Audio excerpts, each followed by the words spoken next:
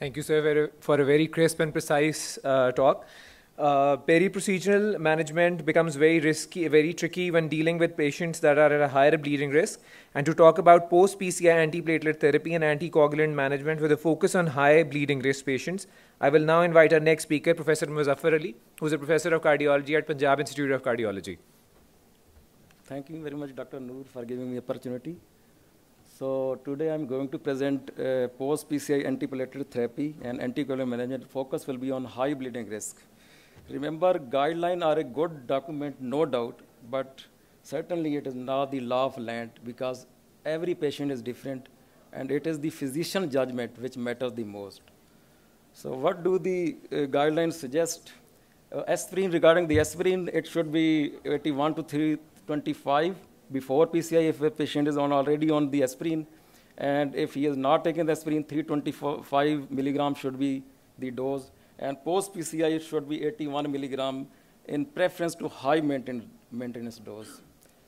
So what should be the duration of therapy? It should uh, be uh, depend upon the what is the condition of the patient. If patient comes with the acute coronary syndrome and have PCI, 12 month is the class 1 indication. And uh, similarly for the stable angina post PCI, 6 months should be the uh, minimum duration for the DAPT. But there are certain patients who have, uh, are at uh, increased uh, high risk for bleeding, then you can discontinue aspirin after one to three months and continue with P2 vitamin inhibitor uh, uh, for the both in ACS and post PCI. So what is about the CABG, post-CABG patient? Initiate aspirin 100 to 325 milligram within six hours post-op and uh, uh, patient uh, with the DAPT therapy post uh, post CABG, there is no role at all. So what about the loading dose patient undergoing PCI uh, with, with acute coronary syndrome? Uh, there, there is different doses like the 300 milligram per should be given. Similarly, 60 milligram prasugrel and 180 milligram ticagrelor. And there is a, if there is uh, for certain reason patient can't take the antiplatelet therapy, there is the agent uh, IV cangrelor, but it is class 2B indication, not, the role is still not clear.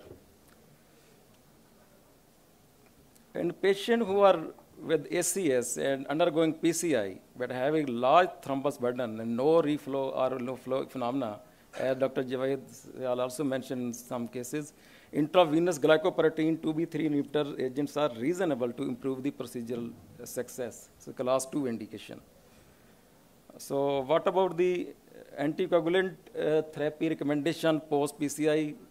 Unfractioned heparin should be given during PCI, but there are certain patients who are uh, actually come, come with heparin-induced thrombocytopenia, we can't give the uh, unfractioned heparin. So here comes the role of bivalirudin uh, uh, uh, argatroban. This is class 1 indication. So this is a common scenario in our daily practice, uh, surgical people often ask us uh, uh, when to stop the antiplatelet therapy, especially with patients who have ischemic heart disease or post-PCI and is going under the uh, some sur surgical procedure. So continue aspirin, clopidogrel, ticagrelor should be started three days before and similarly clopidogrel five days before the surgery and prasugrel seven days before surgery. Uh, you can stop tirofiban 4 hours before and abciximab 12 hours before the impending surgery. So duration of DAPT also matter. Uh, there are certain risk factors which are lead the patient at increased risk of thrombosis.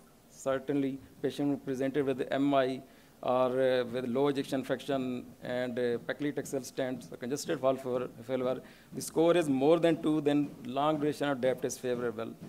So these are the patients who are at increased uh, ischemic risk, favor the long DAPT therapy, advanced age, ACS presentation, multiple prior MI, extensive diabetes, or uh, CKD patient, similarly the patient with the low ejection fraction and stent is partially undersized or complex PCI bifurcation stenting ISR, so may favor the long duration of therapy.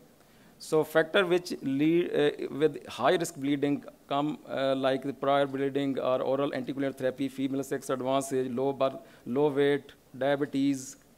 Uh, these may favor the short duration of therapy. Here are some actually trial which support the short duration of therapy like global leader TWILIGHT, uh, stop DAP 2 with the uh, low uh, depth for two to uh, one, one month or three month and later on we replace with the P2Y2 for 12 month and later on by aspirin, followed by aspirin therapy only.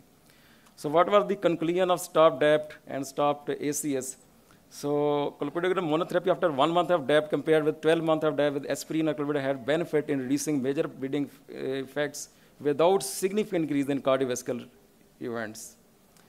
So here come the trade-off decisions, a patient who have high bleeding risk, reduce DAPT duration one to three months, and chance of DAPT also matter, de-escalate to less potent antiplatelet, and uh, definitely DOACs or NOACs instead of warfarin in patients who are going under uh, PCI and have a history of atrial fibrillation. So these patients should have liberal use of PCI and uh, uh, definitely radial access should be used, sheathless, uh, preferably sheathless uh, catheter and these patients should have the DES which with thin, thin strut like we have Ultimaster and Resolute Onyx Synergy. So the, now come to the patient who have atrial fibrillation and are on a warfarin therapy or uh, NOACs and are undergoing PCIs. What should be the duration of therapy? So these patients should uh, have triple therapy uh, the standard therapy, if patient have no atrial fibrillation, should have triple therapy for first week, and then for uh, double therapy, including NOACs and single monoplate and um, single antiplatelet therapy, preferably P2Y2 inhibitor for six months, and after six months, uh, for 12 months, and then after 12 months, uh, NOACs. Second group is the patient who are at high risk of bleeding. So these patients should be given uh, triple therapy for the first week and then double therapy, including NOACs and P2Y2 inhibitor for uh, six, uh, six months, and then NOACs for remaining six months, and after 12 months, NOACs. And these are the patients who are at ischemic, high ischemic risk. These should be given triple therapy for uh, one month, and then double therapy for 12 months. So this AFib uh, patient undergoing PCI, these are also the 2021 guideline, which also supporting the uh, ESC guideline. So AHA document 2021 in patients with atrial fibrillation who are undergoing PCI and are on take, uh, taking oral anticoagulant therapy, it is recommended to discontinue discipline for after one to four weeks while maintaining P2Y2 inhibitor in addition to non-vitamin K oral anticoagulants, rivaroxaban and dabigatran should be preferred over warfarin therapy. So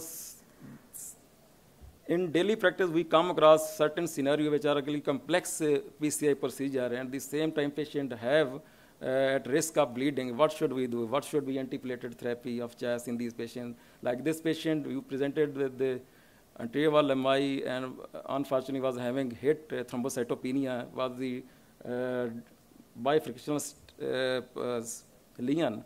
So initially we uh, was uh, planning the uh, provisional strategy, and these patients should have uh, radial procedure and sheathless guide and avoid the complex procedure, go for the single LED stenting, provisional stenting rather for complex DK crush. And in these patients, if you have to give the DAPT, so continue DAPT for at least one month, and after one month, we can stop the aspirin, and you will continue with P2 vitamin for the remaining 12 months.